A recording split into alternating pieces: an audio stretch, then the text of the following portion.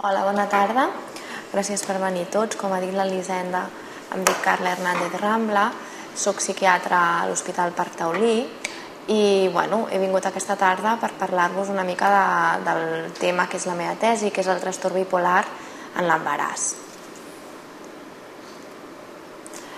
Bueno, començarem dient algunes creences que, bueno, que s'haurien de desmentir perquè no venen a ser del tot certes.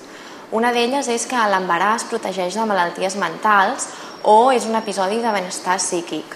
Això no vindria a ser del tot cert perquè, com ja se sap actualment, eh, durant l'embaràs hi ha molt de risc de descompensar-se de les malalties psiquiàtriques. Una altra creença que seria falsa seria que els fàrmacs estan contraindicats durant l'embaràs i que s'haurien de retirar. Això no és cert. Hi ha moltíssimes dones en tractament psiquiàtric que es queden embarassades i no hi ha absolutament cap problema.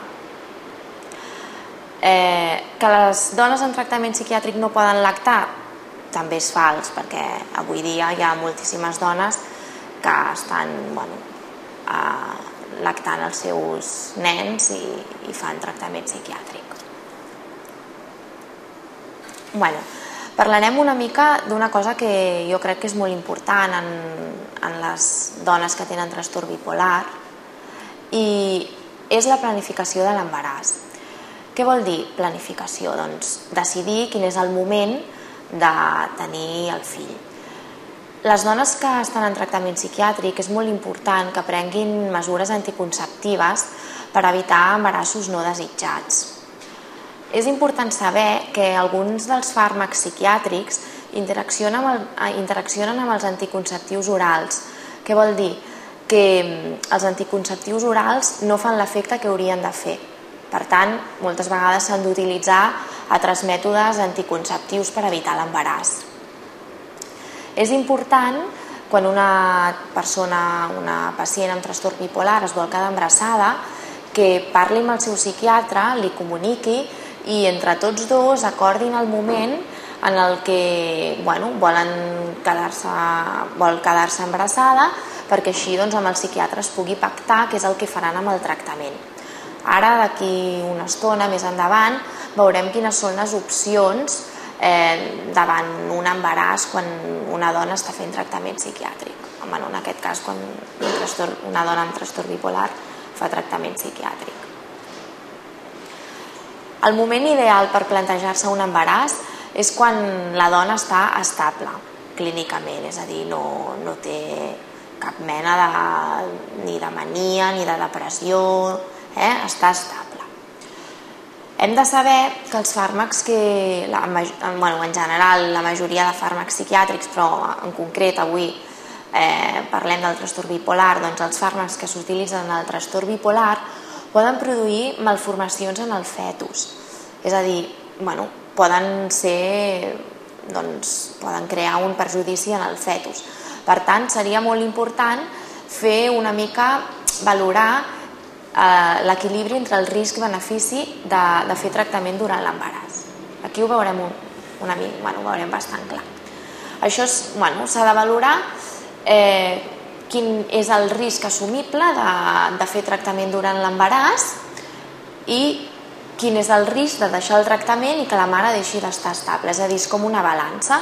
Hem de posar en una, en una part de la balança l'estabilitat de la mare i en, otra, i en una altra part de la balança el, el risc de que el fetus presenti malformacions. D'acord?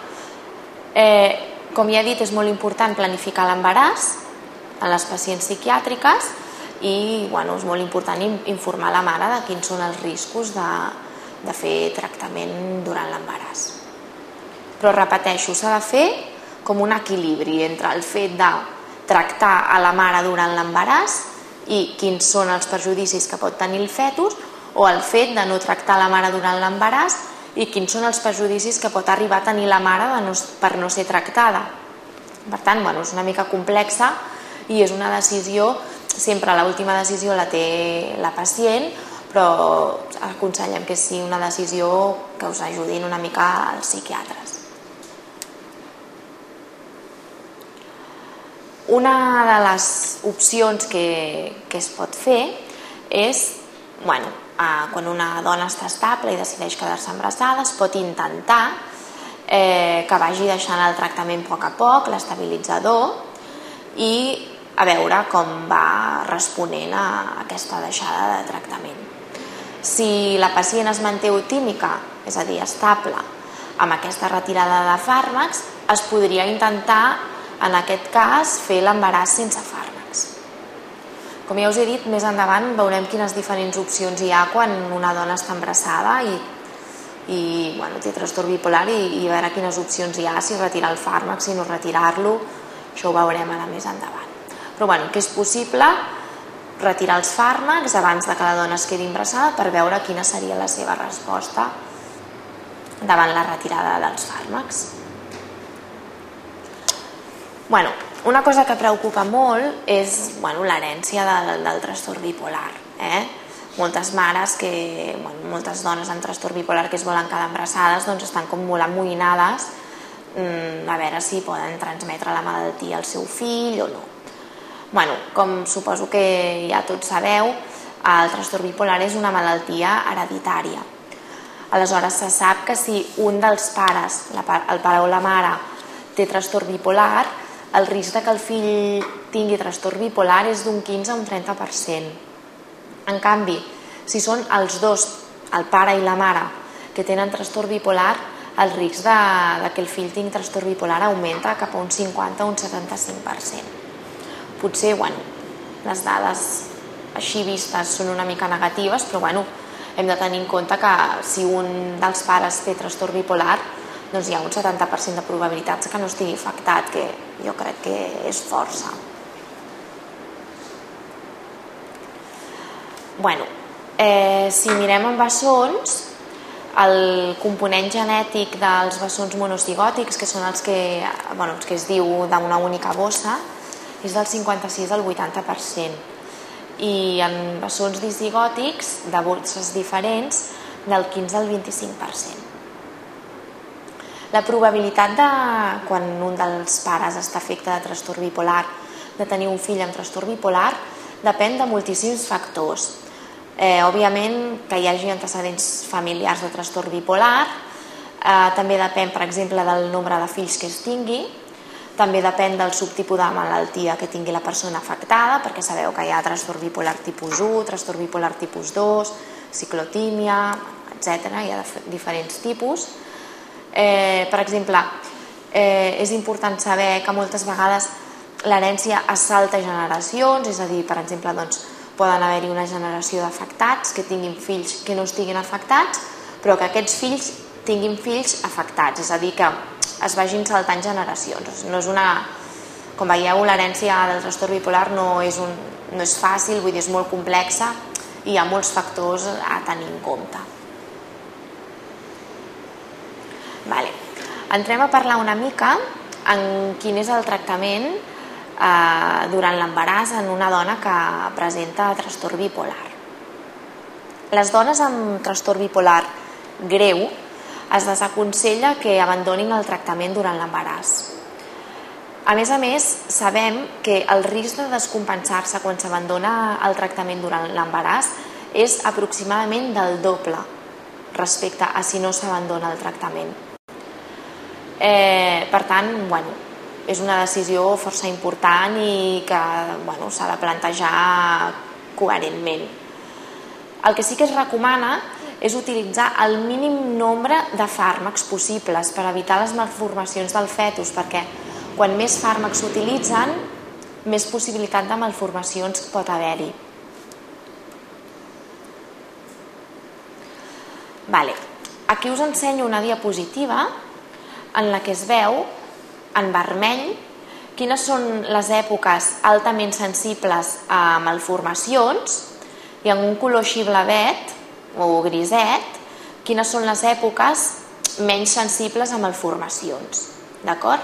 Veiem a dalt de tot les setmanes d'embaràs i veiem com es va desenvolupant el fetus. I, I aquí veieu quan, per exemple, a la setmana quarta es desenvoluparia, es desenvoluparia el cor, a la cinquena els ulls, bueno, a la sisena també una altra part del cor, bueno, per exemple, la vuitena, novena, les orelles, etc. I anem veient com es aniria desenvolupant el fetus. I ja us dic, doncs, les èpoques en què hi ha major possibilitat de, de malformacions són les vermelles, d'acord? Veieu que a la primera i segona setmana s'està fent el zigot, diguéssim, i en aquí no hi ha afectació.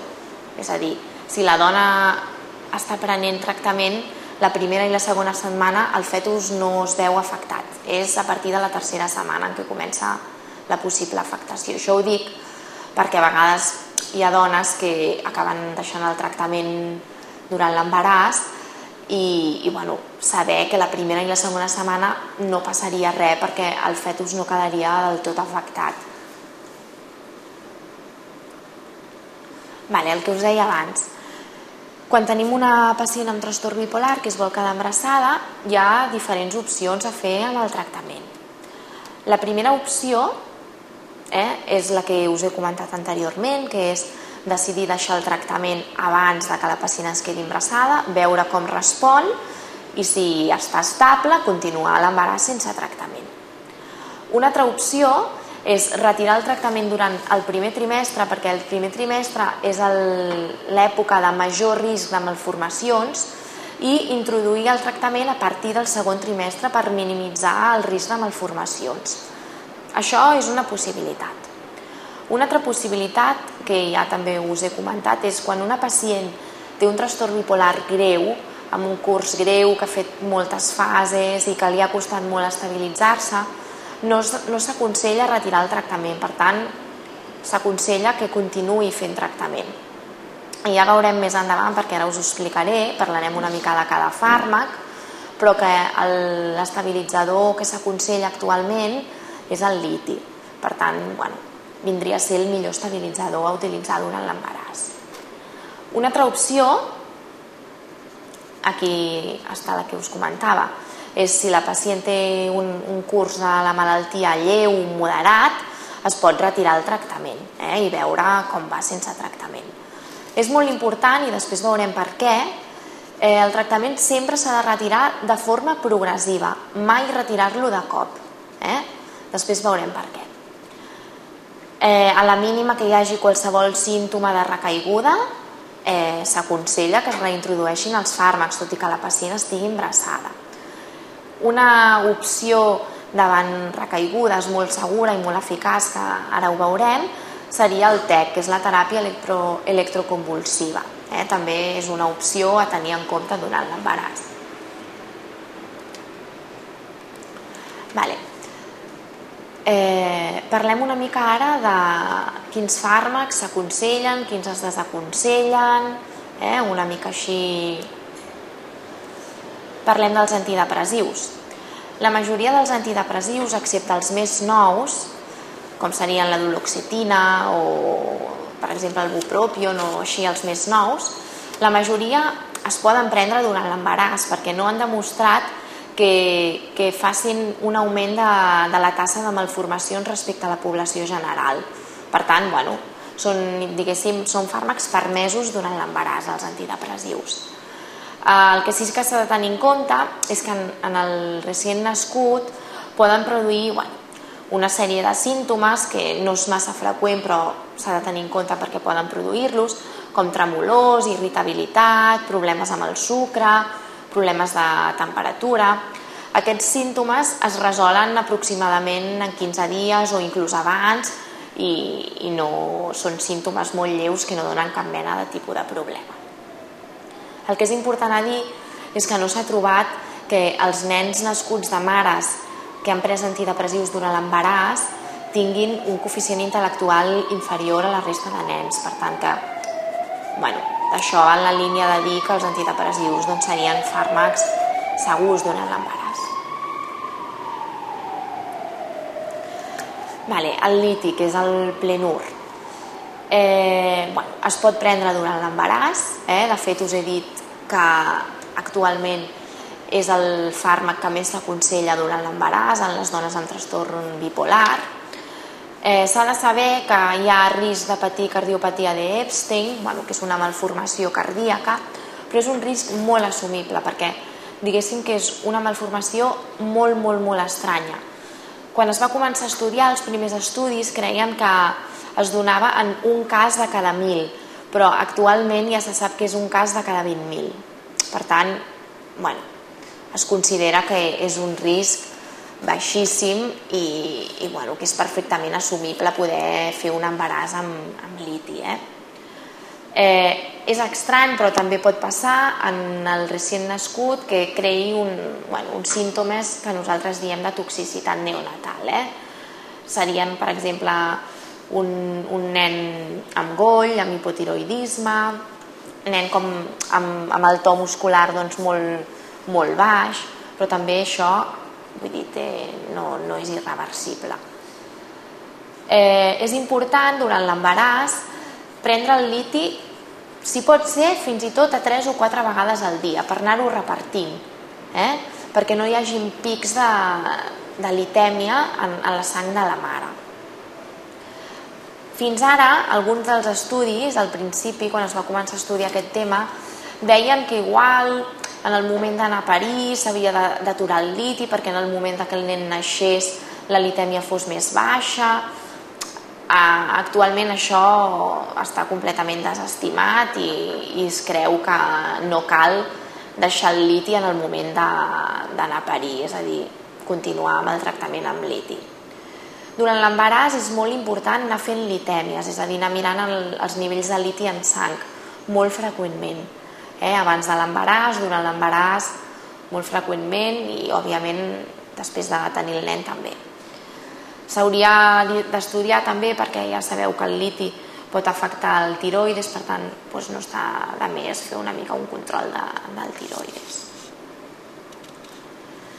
Vale, els estabilitzadors de l'ànim o anticonvulsivants o, bueno, són també dits el depaquine, el tegretol, el lamictal, aquests són antiepilèptics, també s'utilitzen en el trastorn bipolar i bueno, s'hauria de dir que el depaquine i el tegretol eh, aquests dos fàrmacs tenen risc de patir espina bífida, que és, bueno, l'espina bífida és com una mena de malformació de, de la mèdula, eh, com veieu aquí la foto, eh, diguéssim que la mèdula surt una part de la mèdula perquè la columna no està ben, ben, ben segellada, diguéssim. Eh, això es diu espina bífida. Eh, aquesta malformació la pot produir el depaquina i el tegretol. Per tant, aquests dos fàrmacs es desaconsellen durant l'embaràs. És millor que si una dona està fent tractament amb depaquina o tegretol abans de quedar-se embarassada, amb el psiquiatre eh, intentin canviar-ho a algun altre fàrmac, perquè hi ha el risc de, no només de que faci espina bífida, sinó d'alguna malformació cranial, retras del creixement, del creixement en el nen, bueno, el, algun tipus de malformació que sí que serien una mica més importants i que s'aconsellaria retirar-los. En canvi, la lamotrigina, l'amictal, es pot fer perfectament durant l'embaràs, és, és una de les opcions conjuntament amb el liti, i produeixen, pràcticament no produeixen cap tipus de malformació. S'ha de saber que si combinem més d'un estabilitzador o un anticonvulsivant, el risc de teratogènia, de malformacions, augmenta, perquè estem combinant més d'un fàrmac.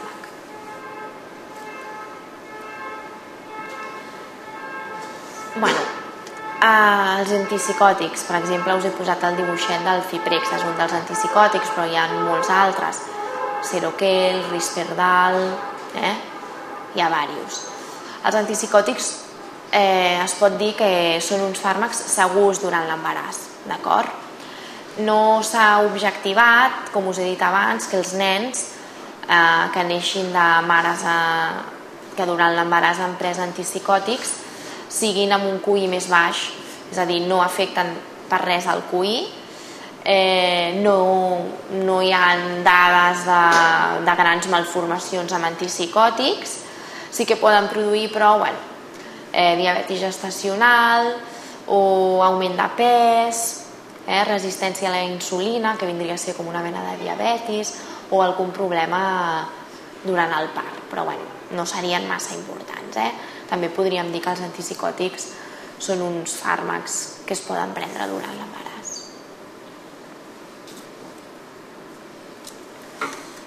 El TEC, eh, que ja és la teràpia electroconvulsiva, ja us he dit abans que bueno, és una de les opcions a tenir en compte en cas de que, de que la mare es descompensés durant l'embaràs.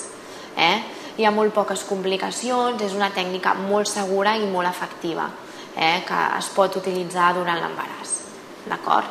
S'han de tenir una sèrie de, de precaucions, eh, com per exemple monitoritzar el fetus, posar-ho en una posició determinada per evitar cap tipus de cop a, a la panxa, al fetus, però és una tècnica en general molt segura a l'embaràs. Vale. Aquí veiem eh, bueno, què és el que pot passar quan una dona eh, abandona el tractament amb liti. Eh? Veiem dades de, de dones amb trastorn bipolar tipus 1 i trastorn bipolar tipus 2. En lila veiem les embarassades, en, en blavet veiem les no embrassades i a baix de tot veiem les setmanes de gestació, del 0 al 40 i de la 40 a la 64. De la 40 a la 64 es considera postpart, que és després de, de tenir el nen. Llavors, veiem com eh, aquestes pacients abandonen el tractament i van a poc a poc recaient, és a dir, comencen des d'un 100% fins a aproximadament un 40% a la setmana 40. Totes, és a dir, tota la resta de pacients han anat recaient. Vale? En el postpart veiem que la recaiguda és molt més important. Veieu la línia rosa com baixa molt més. Eh? Les recaigudes en el postpart acostumen a ser molt més importants que durant l'embaràs. Ara veurem que és molt important prevenir aquestes recaigudes en el postpart. Vale. En cas de retirar el liti, quin és el risc de recaure? En aquesta gràfica ho veiem. Si la retirada del liti és ràpida, el risc de recaure és del 63 amb 33%. Ho veieu? Si la retirada és, en canvi, progressiva, no es fa de cop, el risc és molt inferior, és de 37 amb 14%. Per això us deia que és molt important si es decideix retirar el tractament, fer-ho de manera molt, molt lenta, perquè així el risc de recaiguda disminueix moltíssim. No és que només disminueixi el risc de recaiguda si la retirada del tractament es fa lenta, sinó que també es triga molt més a recaure quan la retirada del tractament és lenta. Com veieu, la retirada de tractament ràpida, el 63 amb 33%, triguen 8 setmanes a recaure mentre que el 37 amb 14% que se'ls ha perdó, el 37 amb 14% de persones que recauen, quan se'ls retira lentament, ho fan en 20 setmanes. Per tant, la idea és retirada lenta del tractament perquè el tant per cent de recaigudes és molt inferior i el temps que triguen en recaure és molt més llarg. És a dir, triguen molt més en recaure quan la retirada és més lenta. Vale. Passem ja al postpart i a la lactància. El postpart, com us deia, és un període de risc per les descompensacions, ja ho heu vist, eh? que es donen moltes més descompensacions en el postpart que en l'embaràs.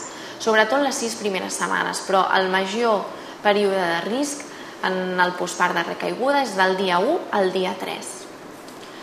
Saber que les descompensacions que es produeixen en el postpart es relacionen amb canvis hormonals, eh? per tant és, un, bueno, és de tipus biològic la descompensació.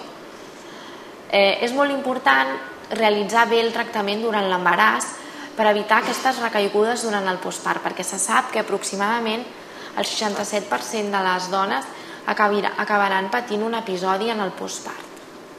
En quant a la lactància, ja us he dit quan començàvem la conferència que és possible lactar tot i fer tractament psiquiàtric, però és molt important veure quin tractament esteu fent per decidir si podeu lactar o no podeu lactar. Això us ho, ho comenteu amb el psiquiatre i ja ho acabareu de parlar amb ell. El que us deia eh, és que bueno, el postpart és un període de risc molt important. Com veieu aquí, on posa pregnancy, que vol dir embaràs, bueno, hi ha una sèrie d'hospitalitzacions. Però després de pregnancy augmenten moltíssim les hospitalitzacions, perquè aquí és quan ve el postpart. Vale? I sobretot, com veieu, el major nombre d'hospitalitzacions es donen en el postpart més immediat, eh? com us deia, les primeres setmanes.